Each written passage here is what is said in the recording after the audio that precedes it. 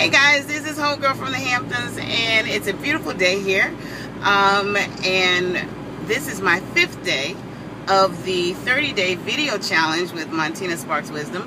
And I'm glad to be here.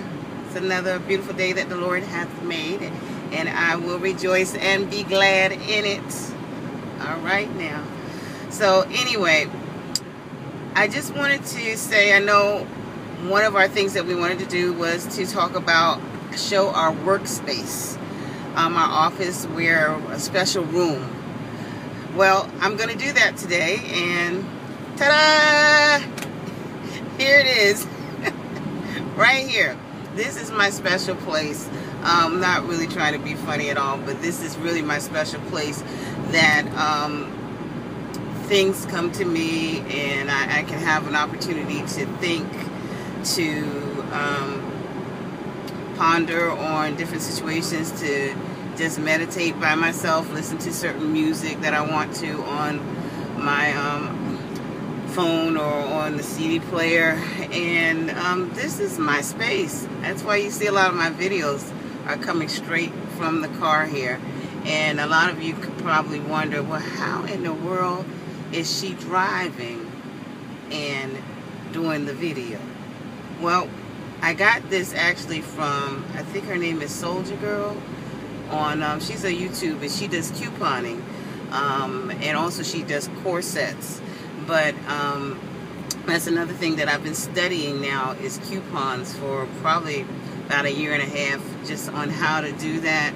And uh, that's something that I, I personally want to do. Plus, I feel that's a ministry um, that um, can be utilized to help people and so um, I've been studying that with different individuals. But anyway, so she she she was the one that was saying, well, um, saying how she mounted her phone, and basically you just take one of those rubber um, the, the um, elastic bands that you put on your hair, and you can actually put put your phone right up on the mirror, like halfway. I mean, not all the way, so you you have to be able to see what's coming behind you. But there's a way that you can just put the rubber band on, put the phone under the rubber band, and your phone will hold, and you can, you know, make videos, and it doesn't inhibit you from seeing or um, you having to have it in your hands or have a mount or whatever. It just mounts itself. So that's that's how I do it. So that if you was wonder, wondering, that's how I do it, and that's how you can do it.